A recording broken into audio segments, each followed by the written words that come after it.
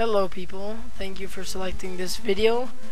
And I would like to say I'm sorry for not for not like having uploaded any videos recently like for a long time. I'm in the middle of my exams so like in a week I'll get back into rhythm and upload them every week two videos a week probably and so on. So I'm sorry for that. First thing I want you to do is well before that what you're gonna need is a pen drive, data traveler, whatever you call it, these little thingities, which can be plugged into the computer, a USB flash drive, that's what you call it, okay? So the first thing I want you to do is open up your web browser, which in my case is Google Chrome. Then I want you to go to www.ps3-themes.com put this link in the description.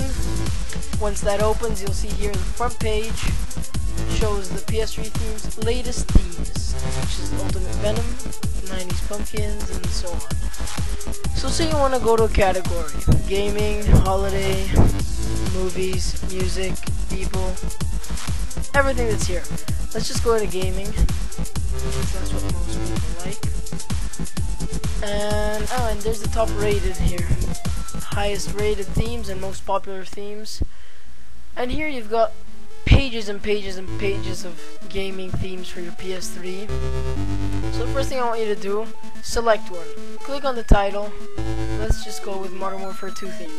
So click on that title, Modern Warfare 2. Once that opens, click download here and wait for it to download. So there it is. I suggest you guys download this to your desktop. It's the easiest place to find. And here it is, the Modern Warfare 2 theme. So, now what I want you to do is grab grab your drive, data traveler, whatever you call it, and plug it into your computer. Okay once it's plugged in, sorry about that. And so once it's plugged in, it'll show up here. Go to my computer. Okay, and here it is. See, this is my data traveler. Open that up. It's empty. Right click, new folder. Call it PS3. It's really important to put it all in caps lock. Yeah, in capital letters.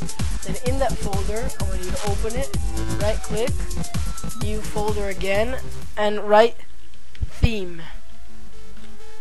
Theme. So it must be in caps lock, in capital letters. And open that up, and let's see, down. Grab your Modern Warfare and drag it into the theme folder. That simple. When that is over, you can close that. Right click down here, safely remove. It's important to safely remove it. Lots of people say it's no difference, but it can actually ruin your flash drive. Okay, once it's stopped, remove it. So now I'm gonna go over to my camera and show you how to do the rest on the PS3. Okay, so once you guys put the theme in here, just let's turn on the PS3 first.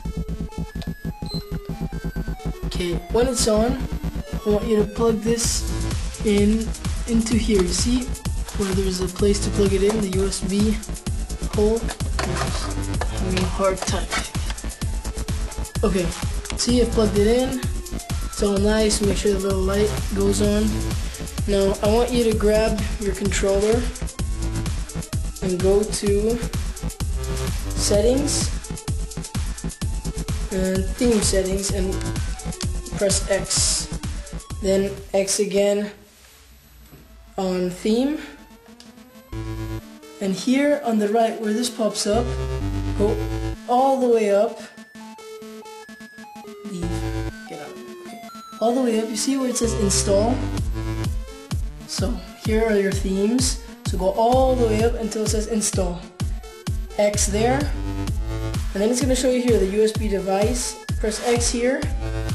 And it's going to find the themes you have. which is Modern Warfare 2.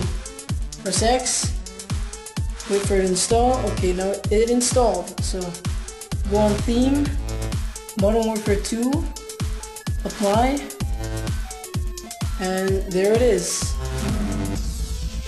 Whoa, weird sound. So yeah, that's how you do it.